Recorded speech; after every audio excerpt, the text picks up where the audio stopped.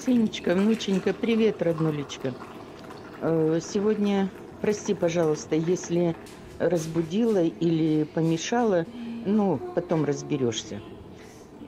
Бабуля сегодня напекла запланированных блинов, как говорится. Сегодня родительский день, э, суббота, поэтому помянуть захотела всех блинами. Ну, в общем, э, с чего начну, Ксюш?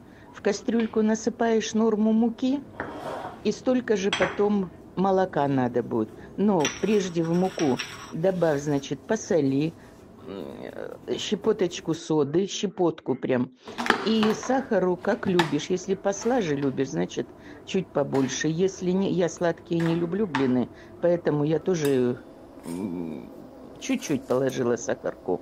Ну и все. Потом вбила яйца. Если мелкие штуки 4, если крупные, то 3 хватит.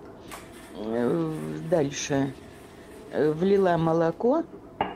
И все это хорошо венчиком взбила до однородной массы, чтобы не было комочков совсем. Когда уже комочков нету, развела водой кипяченой. Если есть минералка, э, можно газированной минералкой развести. Ну и все, и в самом конце уже добавь, когда это все взбила хорошо, в самом конце добавила подсолнечное масло. Ну и все, внуча, вроде все, блины вкусные получились. Но прежде чем печь, сковородки, э, сковородки надо накалить хорошо, чтобы они были не тепленькие, не это, а чтобы уже сразу блин. Э, В общем, у меня ни одного блина комом не получилось. А то, если не нагреется сковородка, будет комом. Так что сковородку хорошо прогрей. И если обыкновенная сковородка, как у меня, я их один раз промазала. Ну, первый раз щеточкой намазала, а потом уже не мазала, потому что в тесте свое масло есть. Ну, все, а потом, ну, я успеваю каждый блин маслом намазать, э, сливочным.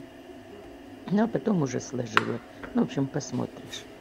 Давай, роднулечка, сумеешь э, ответить, ответь. Ну, там как получится у тебя. Давай. Мы тебя любим, целуем, обнимаем.